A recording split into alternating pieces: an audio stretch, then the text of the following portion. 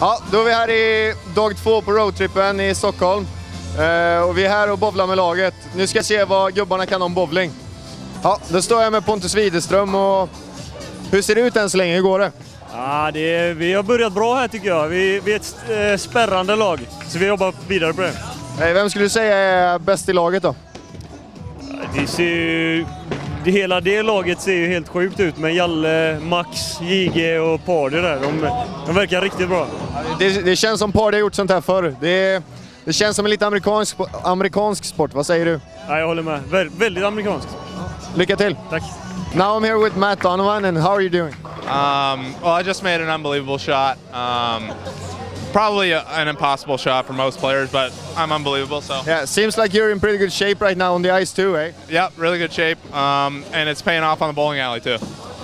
Hey, good to see. Good luck for the rest of the tournament. Thank you very much. Ja, du har letat mig till Joel Mustonen. Hur går det för dig än så länge? Det går bra, det går bra. Jag tycker att eh, när jag kollar på de andra så verkar vårt lag ligga bra till just nu. Ja, det är kul att höra. Eh, jag tänkte bara kolla med dig. Vad har du egentligen för tanke och känsla när du kliver fram och drar iväg klotet?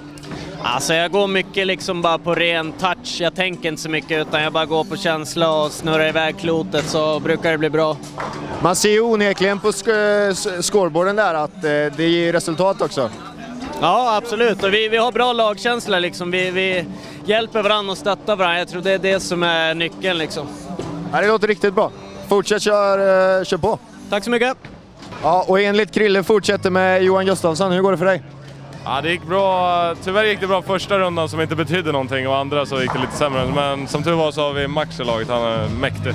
187 här i sista rundan. Alltså, så du skulle säga att han är bäst här av allihopa eller? Garanterat. Hela, hela hallen, han är bäst i hela hallen. Vad säger du om Pardys insats än så länge då?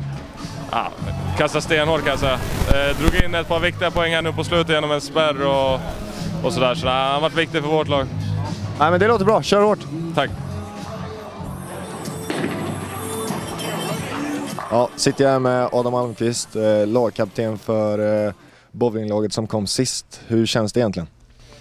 Ja, det, är ju, det var inte kul att komma sist, men eh, någon måste göra det så vi, vi tog det ansvaret och komma sist helt enkelt.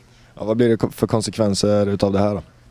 Eh, ja, jag får se, jag ska klura lite på det här. Vi hade ett par som inte levde upp till deras standard som jag trodde. Eh, så får se om de får åka på någon straff här i laget. Vad skulle vi kunna få något namn där, vems fel det var? Ja, vi har ju han bakom kameran var ju inte världens bästa och eh, även Pon Ponta var inte heller så bra. Nej, det förstår jag. Eh, Och tackar för att du ville ställa upp och ändå ge en kommentar efter en så här tung förlust. Ja, nej, men som du säger, man måste ställa upp både bra och dåliga tider. Så, det, så är det. Ja, bra.